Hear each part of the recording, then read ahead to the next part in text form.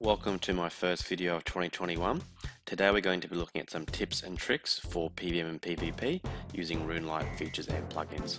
What we'll be having a look at today is tile markers and tile indicators, inventory tags, key binds in conjunction with key remapping, and NPC indicators. I'll then run you through some tips and tricks for PVM and PvP. Some of the features and plugins we look at will help, but essentially we're looking at the way we navigate through the interfaces in PvP and PVM situations. The first feature we'll have a look at today are the tile indicators and the tile markers. So in your plugin list we'll have a look at the tile indicators. The colours at the top are all personal preference, however I like to select highlight hover tile as well as destination tile. With the hover tile you'll see there's a shading under my mouse which shows you which tile you are hovering over. The destination tile will also show you a green box when you select a tile. So what this does is let you know which tile your character is heading towards and in conjunction with tile marking you can make sure you are clicked on the correct tile. To mark a tile we need to hold shift and right click on the tile and then select mark. What this will do is highlight the tile. This is really useful for bossing where we can mark certain tiles we need to be standing on or moving towards. You can also use it for highlighting safe spots in other situations. Using marked tiles in combination with destination tiles is really useful. As you can see here the green box is appearing on the tiles I have marked which does show that my character is moving to the correct location.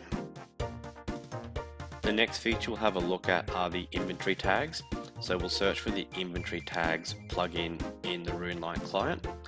What we have here is a list of different colors. Again, this is all personal preference. We also have the option to outline or underline the inventory tags. So what we need to do here, we need to right click on our inventory, select configure inventory tags, we then need to right click over the items and then select what group we'd like to put them in. In this example here, I'm marking my range switch in a green group. Once we're finished, we'll right click on the inventory again and save inventory tags. What you'll see now is that my range switch is all in green and my magic switch is all in blue. So you'll see it stands out really clearly here. When I haven't switched correctly, my mage cape highlighted in blue is not on correctly. I really like the inventory tags feature for gear switching. As you can see, it makes the selection of your switch much easier as it is highlighted. My biggest tip here is just practice, practice, practice. Whenever you get a chance, practice your clicking and practice your gear switching. We will now have a look at the key binding and key remapping. So we'll go into settings, all settings, and then down into key binds. What we're looking at doing here is moving our interface to a F1 key. This is much, much quicker than clicking. Again, the assignment of these is personal preference, but this is how I like to have them set up. And what we'll do with the key binds in conjunction with the key remapping, what we can do is remap our keys so that F1 is the 1 key, F2 is the 2 key and vice versa.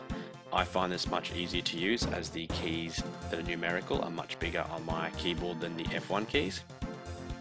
Using the keybinds to navigate your interface is a little tricky at first, however I recommend you keep at it and continue to practice as it is essential for high level PVM.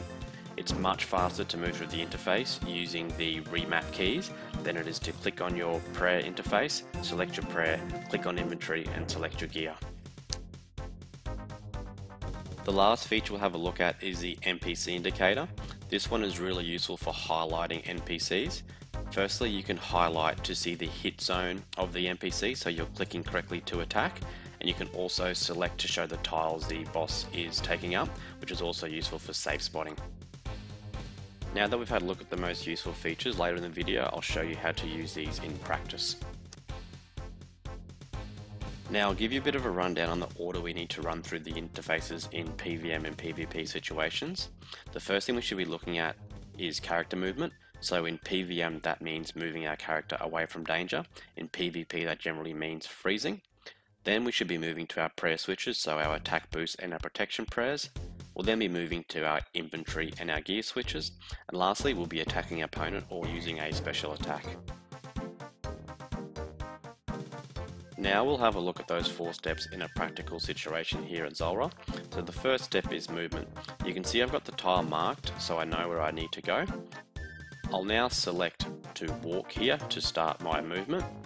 Once the movement starts, I can now press my 2 key to switch to my prayer interface. I can then change my protection prayers and attack boosting prayers as necessary. You'll also see the tile indicator has gone green to show I have selected the right tile. Once the movement commences and I've fixed my prayers, the next keybind is number 3, which moves me to my inventory.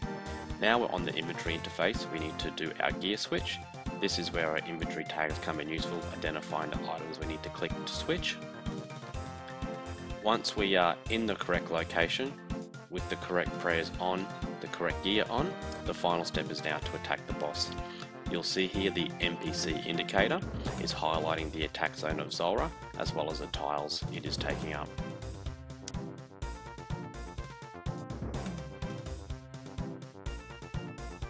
We will now look at an example at 50% speed. So step one is our movement. We use our keybind to go to the prayer interface, select the correct prayers, keybind to go to our inventory, select the correct gear. Once we're in the correct location with the correct prayers and the correct gear, we attack the boss. I'll show you one final example, and this one here is played at 80% speed. The key here is just practice. Don't be afraid of dying, don't be afraid of making mistakes, just keep practicing over and over again and slowly but surely you will get better at mastering all of these interface movements. We'll have a look now at applying this to PvP situations. So the first thing you generally want to do in PvP is to freeze your opponent.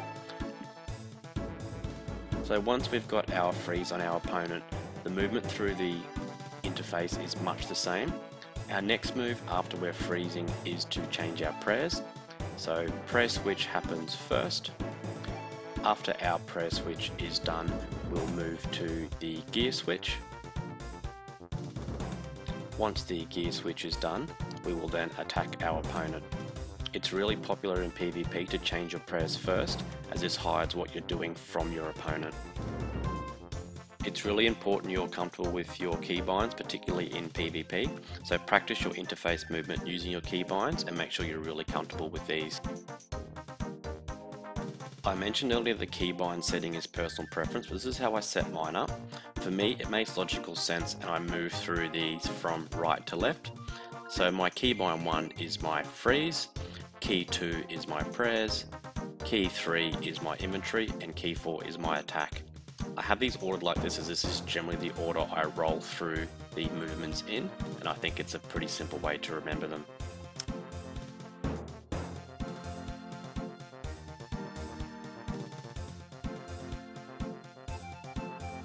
Here are some further examples of this at full speed.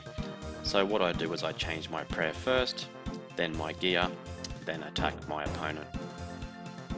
Now just adding the special attack into this, it's the same idea that we change our prayer first, then our gear. Now we're going to add in the keybind 4, which will bring us to our special attack interface. Here is one last example putting that all together. Prayer change first, then gear change, attack opponent, prayer change, gear change, special attack opponent. So that is the end of the video for today. Hopefully some of the RuneLite features I've shown have helped. Also hopefully you've picked up a few tips and tricks that you can use in your own PVM and PvP situations.